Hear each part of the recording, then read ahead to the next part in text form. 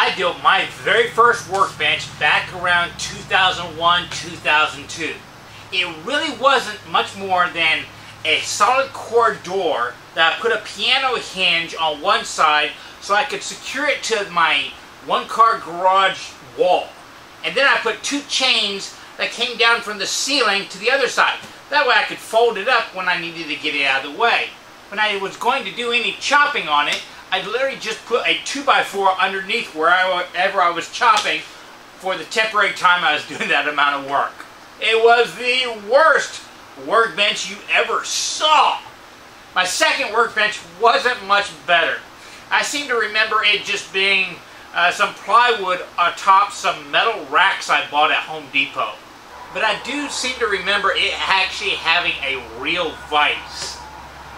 My third workbench I built was actually in a corner of a efficiency apartment and I made it out of the maple underlying boards from when the school I was working in got flooded and they threw them all out into the dumpster. I picked them all up and built a workbench.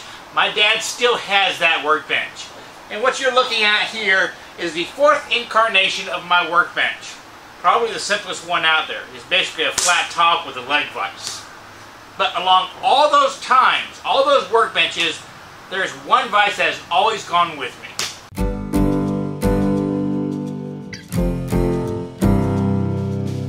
What you see me working on, the majority of all my videos is this fourth version of my workbench. And there's, actually I built 13 of them and just kept one.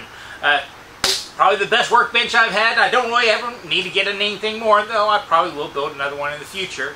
But it's got a leg vise on it, perfectly fine. I can always put a leg vise on the, any of the other four corners. But there's some aspects that it doesn't do well.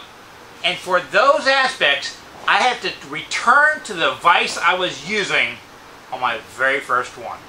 Back when I first started out, I had no clue what I was doing. Uh, I mean, look at that first bench. A solid core door chained to the wall. Come on. But that's actually where I cut my first dovetail, and I probably didn't cut another dovetail for four years. I was so disappointed in it. I did it with a hacksaw and a chisel I sharpened on the concrete, because I didn't know any better at the time. But the clamp I used at that time, I still use today.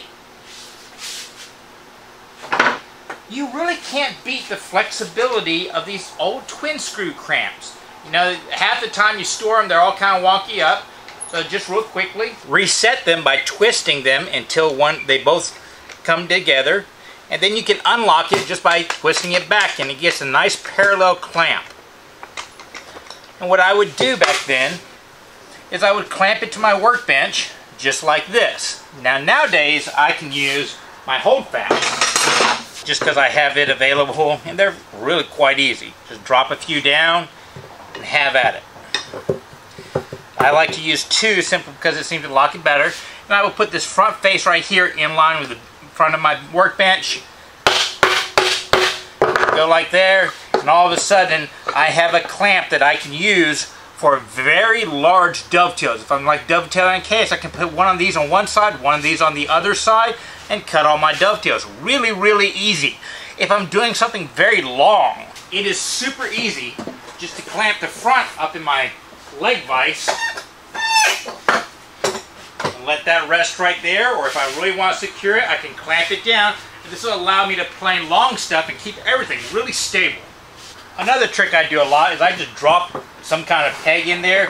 You can bump that up there and then allow it to sit in the jaws. Give you a little clamp and it'll hold your work upright so that you can plane easily.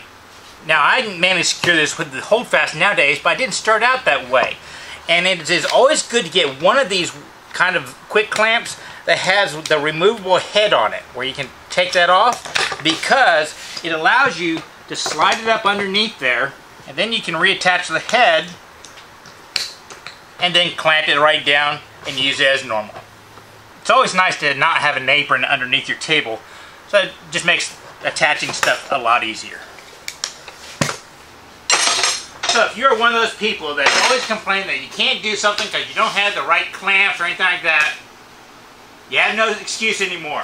You can pick these things up at lots of garage sales and antique marts. They're practically worthless most of the time. Brand new, they're what, 20 bucks? And that's why spend new when you can buy so such good ones used.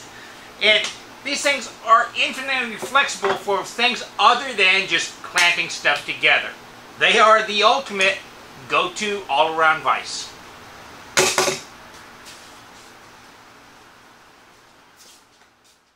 So for today's video, I'm going to shoot you to just a phenomenal archive of real skill. But before we do that one, if you like this video, please do me a favor. Like, favorite, subscribe, do all those social medias.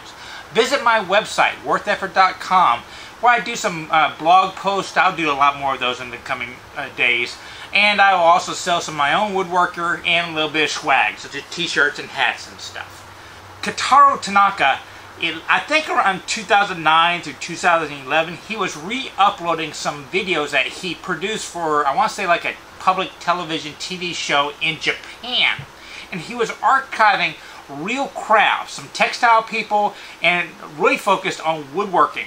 And I believe he himself is a woodworker, and the video I'm going to be shooting you to, I think, is his father.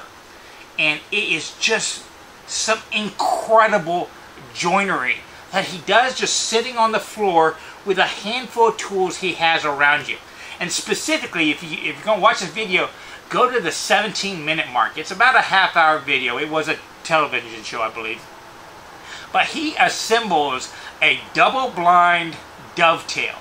And if you've questioned where would anybody ever use this thing, watch this joint go together. It is just unbelievable. And I love the fact that he doesn't test fit anything.